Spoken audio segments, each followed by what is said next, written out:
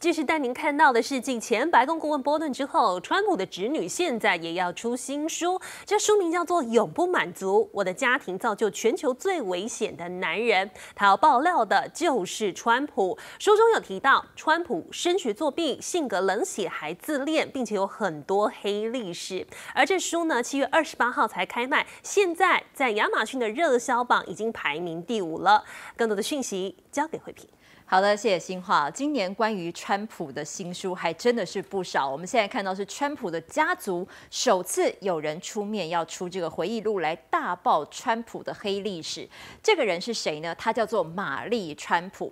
他是谁？他是川普大哥的女儿。他现在五十五岁，是一名临床的心理学家。他的这本回忆录是预计在七月十四号的时候会出版。但是川普其实企图透过一个二十年前他在这个一名家族的长老的。葬礼上签过一份保密协定，希望透过这个保密协定阻止这本书的出版。但是现在法院判定他败诉了，这本书还是会如期的在下个礼拜就会登场。但是我们看到说，这本书里面其实揭露了五大的川普家族秘辛。首先是什么？首先是川普相当自豪的，他曾经念过华顿商学院这件事情，原来是由枪手来代考的。这个玛丽她回忆说，其实川普是在高中的时候找了一名枪手帮他考了 SAT 的学测测验，但这个枪手考的分数很高，也让川普顺利了就读的华顿华顿商学院。川普曾经说过，他说这个商学院是这个天才才有办法去念的学校，没有想到现在没有想到现在被爆料说，竟然是找枪手来代考。那再来呢，是他。因为他身为一名这个临床心理学家，所以他分析川普的个性不只是自恋。他说：“你要符合一个自自恋者，你必须要符合九项的临床病症。”他说：“川普全部都符合，而且不止如此，他还说川普的这个心理状态是相当复杂的，必须要经过全方位的心理还有神经的评估，才可以知道他的病理状况。”不过，玛丽也酸酸说，川普是绝对不可能会接受这样的测验的。那此外，他还写到说，其实川普一向都跟女性很难相处，而且他相当的不尊重女性。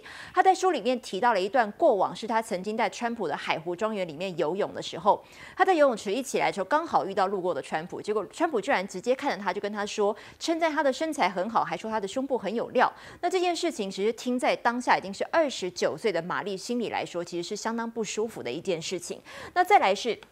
他提到，川普一向很强调他做事很有原则这件事情，他是产他是一个质疑的态度，因为他说川普向来是含着金汤匙出生的一个小孩，他一直都是靠父亲的权力还有金钱来进行这个谈判桌上的谈判，也就是说他其实都是向来就是靠撒钱来做事，所以根本就没有原则可言。那最后是他提到。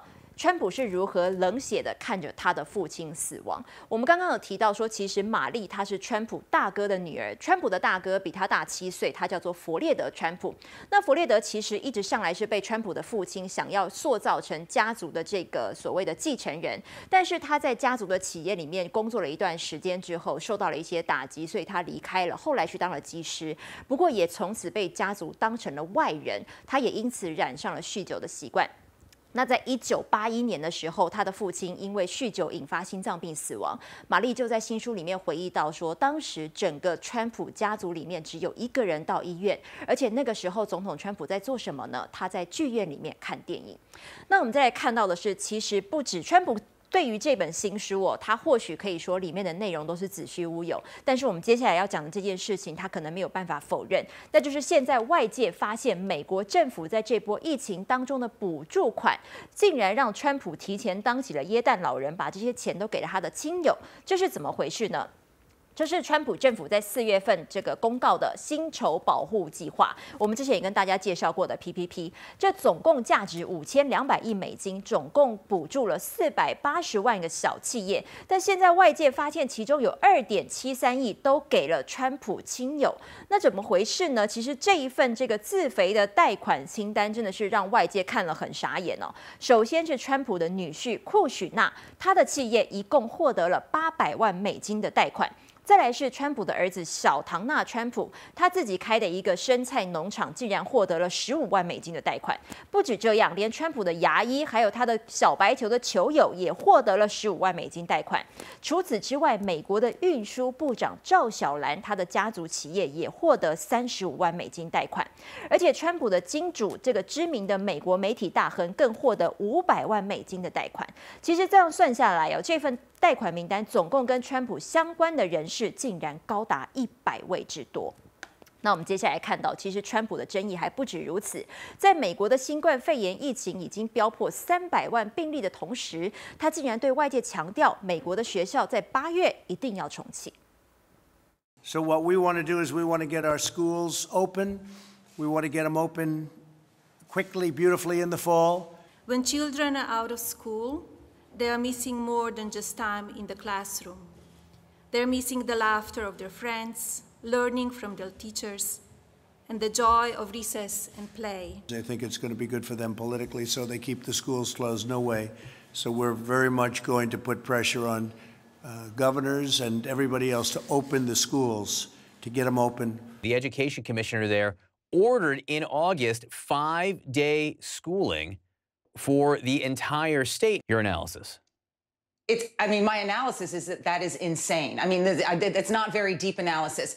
When we open schools, especially for K through 12, it has to be based on what the community spread is and whether it can be uh, sort of contained, right? We got to protect not just the kids, but the staff and the teachers and the bus drivers. I will tell you now, I would not send my kid to a school or a jurisdiction in Florida, given the numbers uh, that I see now in places like Miami.